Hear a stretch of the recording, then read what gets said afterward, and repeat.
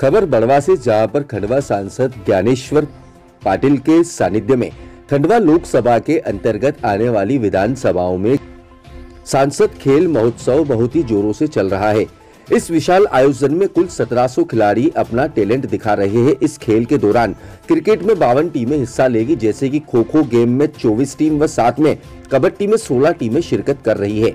प्रतियोगिता का फाइनल 7 तारीख को बड़वा शासकीय महाविद्यालय के विशाल मैदान में खेला जाएगा, जिसमें 600 अतिथि व साथ में आयोजन में शामिल होंगे। महाविद्यालय में प्रतिदिन अलग अलग स्थानों की टीमों द्वारा शेख क्रिकेट मैच खेले जा रहे हैं। प्रत्येक मैच में 30 से अधिक अतिथि पधारकर युवा प्रतिभाओं का उत्साहवर्धन कर रहे हैं। जबकि विशाल मंच पर आने वाले तमाम अतिथियों का स्वागत सत्कार किया जा रहा है। साथ ही मैच में पूर्व खिलाड़ियों से अतिथियों का परिचय भी करवाया जा रहा है। देखिए, खास रिपोर्ट आई वी न्यूज़ पर सुनील परिहार के साथ।